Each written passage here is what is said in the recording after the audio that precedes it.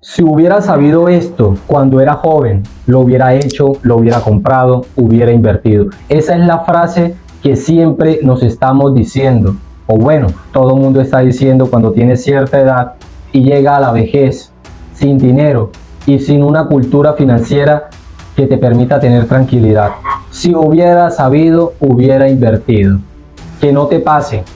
Por eso tú que eres joven, hoy te vamos a regalar 7 hábitos que sí o sí debes de tener para que llegues a una edad avanzada. Bueno, en pocas palabras, para que llegues a viejo con dinero, con recursos. El primer hábito que debes de realizar, ahorrar dinero, es el primer hábito que debes realizar.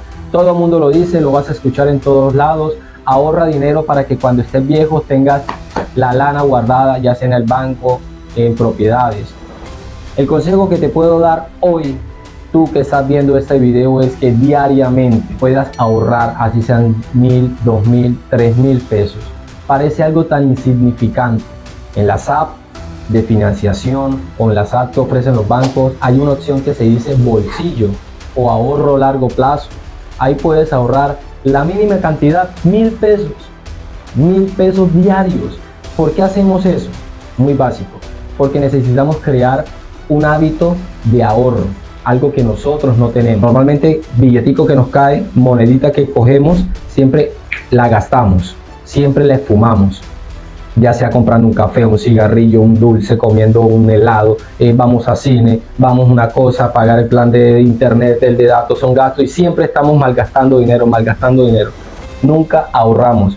Por eso es muy importante que todos los días ahorres, así sean 200, 500 pesos. Ese día a día de ahorrar de a poco a poco, al último va a crear un hábito. Y a final de mes vas a tener por lo mínimo, por lo mínimo 30 mil pesos.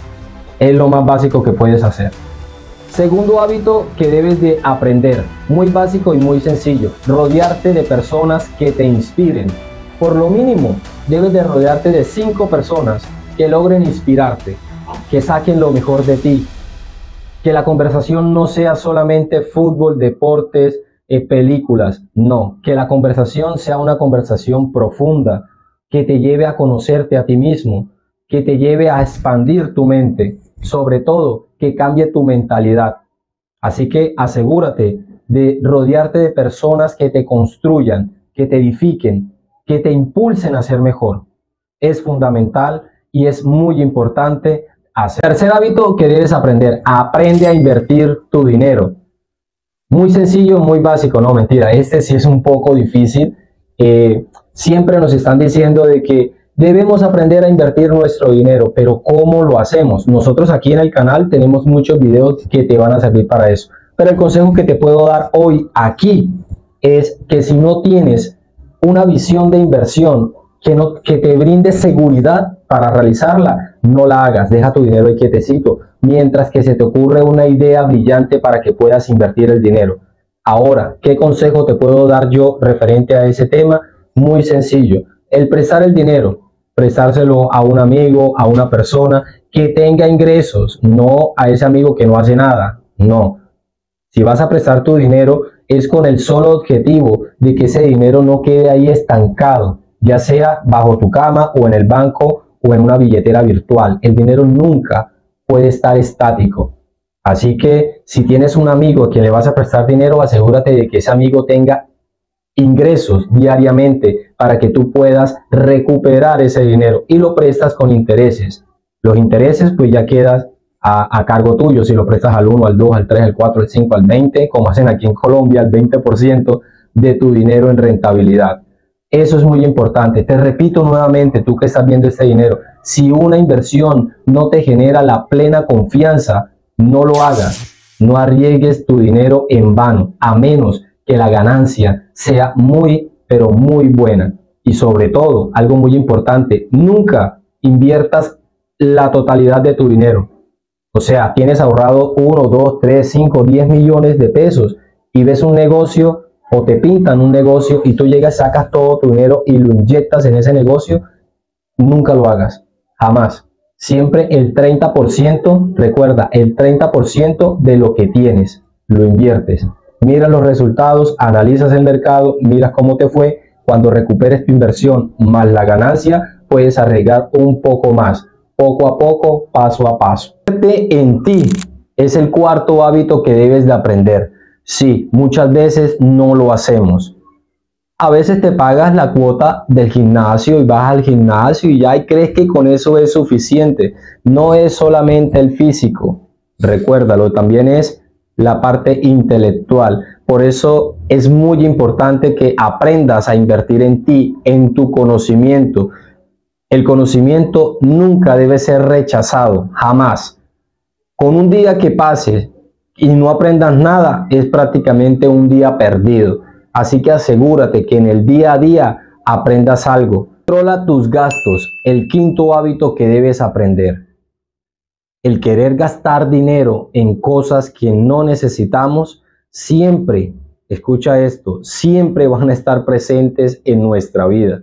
Por eso antes de hacer una compra impulsiva o de gastar tu dinero o malgastarlo en cosas que tú no necesitas, realízate esta simple pregunta. ¿Realmente necesito esto? Si esa no te funciona, hazte otra pregunta. ¿Esto me acerca o no me acerca a mis metas? Recuerda, los impulsos son de nuestra condición humana. Así que si tienes dinero y piensas que te sobra, tu primer impulso va a ser gastar dinero. Nunca mantengas todo tu dinero en efectivo. Es el sexto hábito que te tengo que enseñar. ¿Por qué te digo esto? Muy sencillo. Tener el dinero a la mano, ahí en cash, en efectivo, va a ser la tentación de querer gastar, gastar, gastar, gastar. Porque no nos digamos mentiras. Tener dinero en efectivo nos da tranquilidad, nos da paz y creemos que todo lo podemos hacer, que todo lo podemos conseguir. Por eso la recomendación es nunca tener siempre el dinero en efectivo. Tiene una parte en el, en el banco de manera virtual. Porque el hecho de que tengas que sacar tu cartera, ir al banco, meter la tarjeta, depositar tu clave, esperar que el dinero salga. Eso te va a dar unos segundos. ¿Recuerdas el quinto hábito que te iba a enseñar?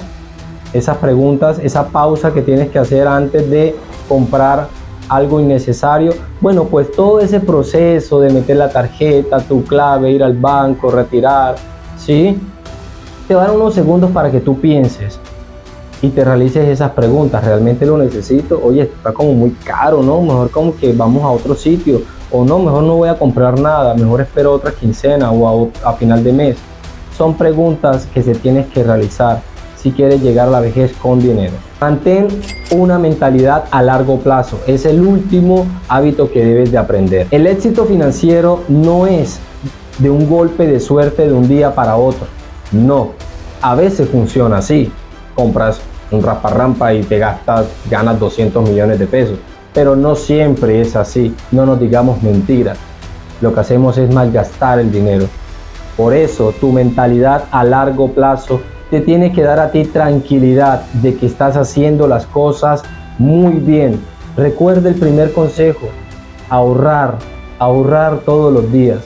No te malgastes pensando en que, ay, es que hoy no tengo dinero, es que hoy no he llegado a mis metas. No, porque eso te va a debilitar. Mantente firme, constante en todos los hábitos que has escuchado en este video. Los resultados al final los vas a poder ver. No desesperes y continúa creciendo financieramente.